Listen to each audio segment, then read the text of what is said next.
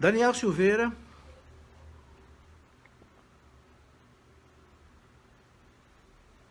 O Daniel Silveira pergunta o seguinte: O que dizer sobre os conflitos argumentativos entre tradicionalistas e carismáticos?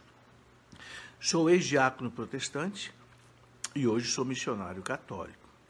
O, Daniel, eu penso que não pode haver esse conflito argumentativo entre tradicionalistas ou, não sei, é, carismáticos. Não pode haver.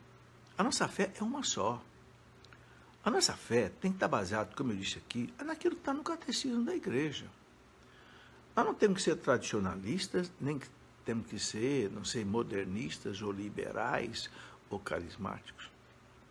É? Olha, eu vou ser sincero, eu estou na renovação carismática católica, posso dizer, há 44 anos. Né? Desde 1974, que eu participei da minha primeira experiência de oração com o Padre Jonas, sabe, eu participo de tudo que é encontro carismático no Brasil e participo também de, de, de encontros com todos os tipos de congregações da igreja. Os legionários de Cristo, as, né, as, os encontros de Nossa Senhora, tem tudo que é tipo de encontros cursilhos de cristandade. Para mim não existe diferença. Para mim existe a doutrina católica, que está no catecismo da igreja, está nos documentos, estão nos documentos dos papas, nas encíclicas. Acabou. Né?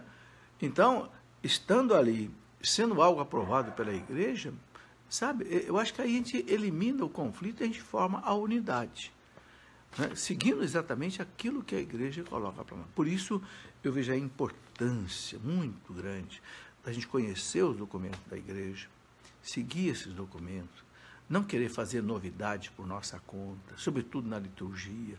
Segue a igreja. Né?